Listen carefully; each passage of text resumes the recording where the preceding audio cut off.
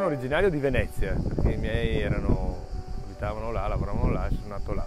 Dopo dieci anni sono andato nella bassa, sono arrivato alla bassa veronese, a Sorgà, e lì eh, la passione del papà e la mamma che a casa invitavano sempre amici e facevano da mangiare cose particolari, ho iniziato il percorso della scuola alberghiera a Bardolino e mi sono innamorato del lago di Garda. Del lago di Garda ci si innamora perché mette tranquillità, ti, ti, secondo me non è come il mare che l'onda ti agita, o ti, il lago proprio ti, tra, ti trasmette una, una pace, una, una, il quieto vivere, sì.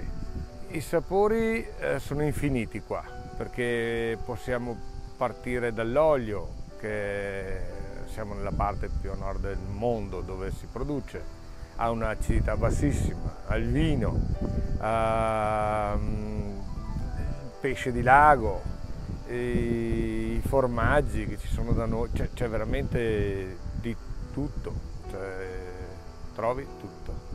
Il lago di Garda è unico perché ha le montagne che, che lo dominano, che lo sovrastano, che gli danno quella se abiti qua hai quella sicurezza che, che sei protetto come dagli, dagli effetti atmosferici. Uh, poi soprattutto Garda, che è stata dominata per quattro lustri dai veneziani, ha, ha portato cultura, ha portato lo stesso usare le sarde e metterle in saor.